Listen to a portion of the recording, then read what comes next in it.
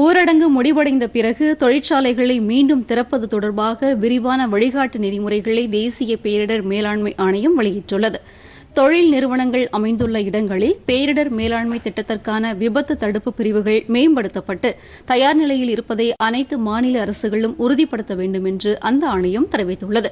தொழிற்சாலைகள் அதிகம் உள்ள இடங்களில் சம்பந்தப்பட்ட மாவட்ட அதிகாரிகள் விபத்தை தவிர்க்கக்கூடிய மற்றும் பேரிடர் மேலாண்மை திட்டங்களை உறுதிப்படுத்த அறிவுறுத்தப்பட்டுள்ளது.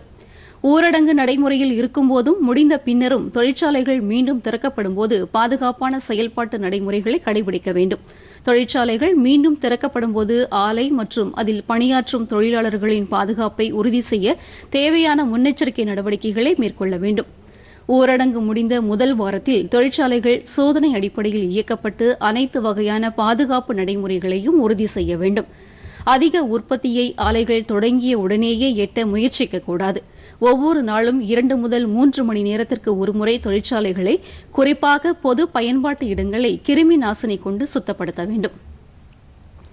ஆலைகள் தொடங்கப்பட்டவுடன் வினோதமான சத்தமோ புகை போன்ற வாயு கசிவோ இதர அபாயகரமான விளைவுகளோ ஏற்படாமல் இருப்பதை சம்பந்தப்பட்ட நிறுவனங்கள் உறுதிப்படுத்த வேண்டும். அனைத்து இயந்திரங்களும் மீண்டும் இயக்கப்படும் போது பாதுகாப்பு தொடர்பான நடைமுறைகளை பின்பற்ற வேண்டும்.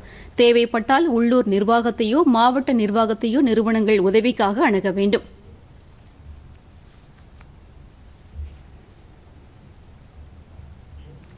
தொழிலாளர்கள் நுழைவு வாயிலிலேயே பரிசோதனைக்கு உட்படுத்தப்படுவதுடன் நாள் ஒன்றுக்கு இரண்டு முறை அவர்களுக்கு உடல் வெப்ப பரிசோதனை மேற்கொள்ளப்பட வேண்டும். உடல்நலக் குறைவு அறிகுறிகள் இருப்பின் அவர்களை பணியாற்ற அனுமதிக்கக்கூடாது.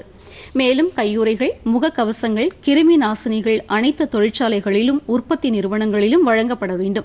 இதன் மூலம் கொரோனா தொற்று பரவலை தடுப்பதுடன் அனைத்து தொழிலாளர்களுக்கும் அது குறித்த விழிப்புணர்வை ஏற்படுத்த முடியும். தவிர மத்திய மாநில அரசுகள் தெரிவித்துள்ள தனிநபர் இடைவெளி போன்ற விதிமுறைகளை தவறாமல் தொழிலாளர்கள் கடைபிடிப்பதை உறுதிப்படுத்த வேண்டும் என்பன உள்ளிட்ட விதிமுறைகளை தேசிய பேரிடர் மேலாண்மை ஆணையம் வெளியிட்டுள்ளது. ஆந்திர மாநிலம் விசாகப்பட்டினம் அருகே அண்மையில் ரசாயன தொழிற்சாலையில் நச்சுவாயு கசிவு ஏற்பட்டதை அடுத்து இந்த புதிய நடைமுறைகள் அறிவிக்கப்பட்டுள்ளன.